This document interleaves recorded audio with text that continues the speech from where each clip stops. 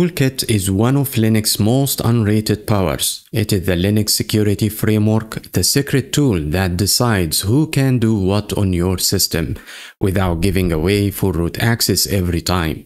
If you have been thinking that sudo is the only way to run admin commands, you are about to learn there is a much more fine-tuned way to control privileges. If you are tired of being nagged for a password every time you change your Wi-Fi, mount a USB drive, or tweak network settings, stick around. This video is tested on OpenSUSE Tumbleweed, but most of it applies to Leap too. Let's get started. What is Polkit? Polkit, short for PolicyKit, is an authentication framework Think of it as a security manager that sits between your apps and root privileges.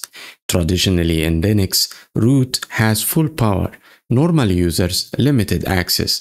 With Polkit, you can grant just the permission needed for just the right time to just the right person.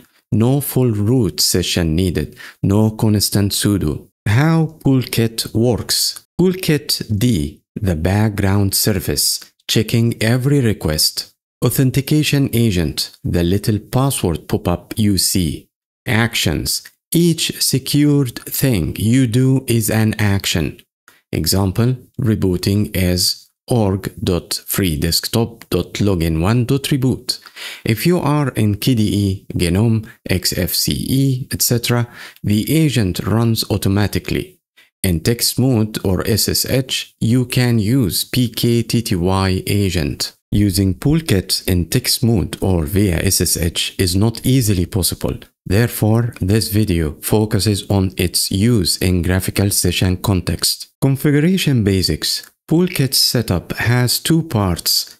Actions.policy files in slash usr slash share slash polkit dash one slash actions. These describe what an action is and its default rules. Do not edit these directly. Authentication rules rules files in JavaScript slash usr slash share slash polkit dash one slash rules dot d where system package rules live slash etc slash polkit dash one slash rules dot d where your local custom rules live.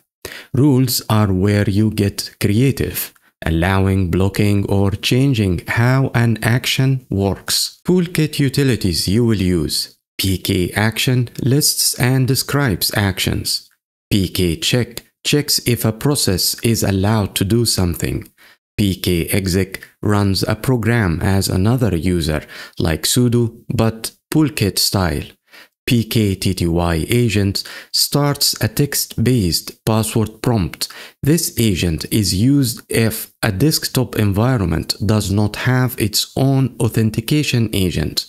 See also their respective man pages for further details. Authorization types. When an app tries to do something privileged, Polkit can say yes, no password needed, no, denied, auth underscore self needs your password, auth underscore admin needs root's password, and underscore keep versions to remember for a while. Implicit authorizations. Actions have three contexts. Allow active, logged in and using the system.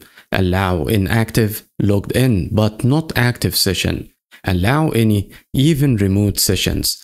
Each context can be set to one of the authorization types. SUSE default profiles OpenSUSE comes with three built-in Polkit privilege profiles that decide how strict your system is when asking for authentication. Easy, best for single-user desktop systems, fewer password prompts, smoother experience, but lower security. Standard, the balanced middle ground. This is what most users should stick with.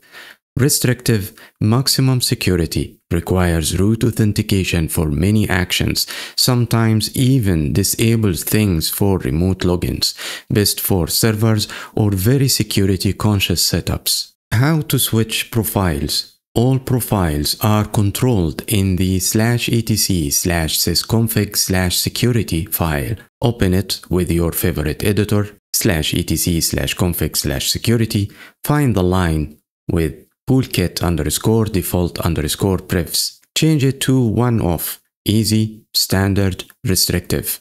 Then apply the changes by running sudo set underscore underscore default underscore prefs.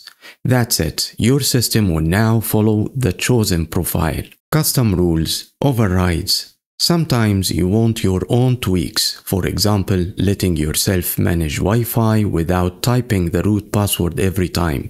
On OpenSUSE Leap, custom overrides go into slash etc slash polkit dash default prefs.local.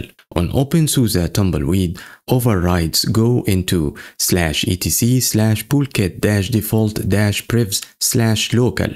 Create the slash etc slash polkit dash default dash prefs directory first if it doesn't exist on OpenSUSE Tumbleweed.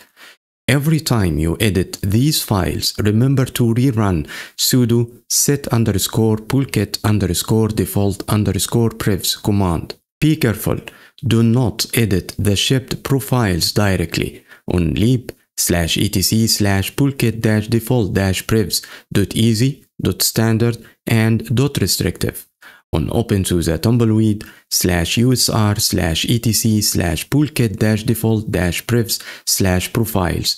Those are system defaults and will be replaced during package updates. Always use the local file for your overrides. This way, you can start with SUSE's defaults and then add your personal rules on top, keeping your changes safe even after system updates. Practical home user example.